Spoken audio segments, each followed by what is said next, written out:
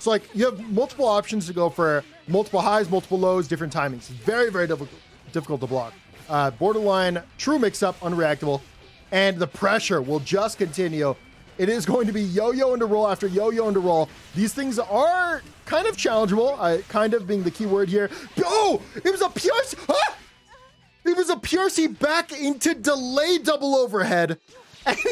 Diaphone just took that game so quickly. The mix looking way too strong here for Bridget.